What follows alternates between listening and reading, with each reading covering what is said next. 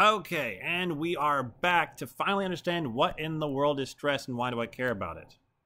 Okay, so what I have right here is I have a bar, and it's got some sort of axial load P. Why do they use P for a load instead of F? I have no idea, but your textbook does, and so that's why I used to.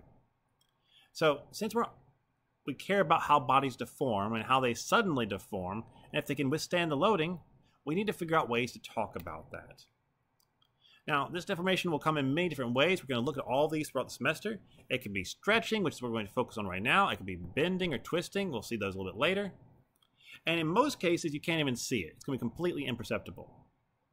Now, all these deformations are due to the internal forces within an object, specifically how intense those internal forces are.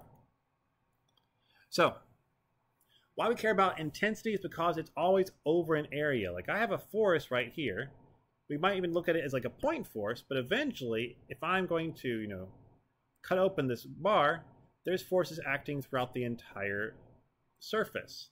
And those are what we care about. Those are what lead to deformation. So the simplest definition of stress is simply stress equals force over area. What force? That guy, the load P in most cases. What area? The cross-sectional area that's perpendicular to the force. Why? Because this is normal stress.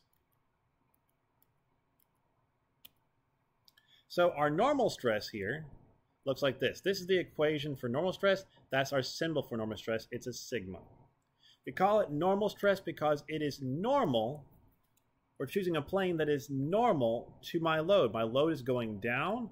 My plane that I cut here is perpendicular or at a right angle to that load. And here's our force F on the inside. We just said that the force is the internal force rather than being the external load. The reason for that is because sometimes your load and your force are not the same.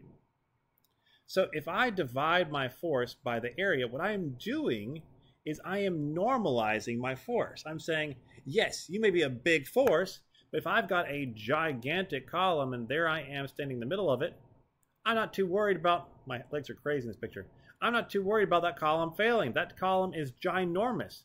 It's got a massive area, okay? That is a huge area. On the other hand, if I am standing on a tiny little column, and here I am, I'm probably pretty worried about it breaking. Why?